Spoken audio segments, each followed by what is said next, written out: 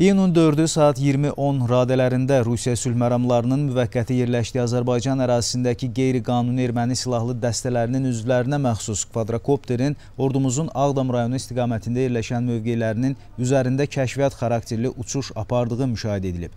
Azərbaycan ordusunun bölmələri tərəfindən görülən təxirə salınmaz tədbirlər nəticəsində mövqelərimiz üzərində uçuş həyata keçirməyə cəhd göstərən kvadrokopterin fəaliyyətinin qarşısı alınıb.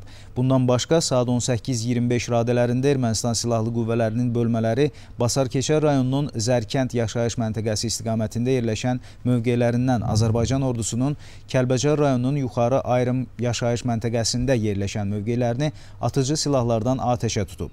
Müdafiə Nazirliyindən verilən məlumata görə ordumuzun bölmələri tərəfindən cavab tədbirləri görülüb.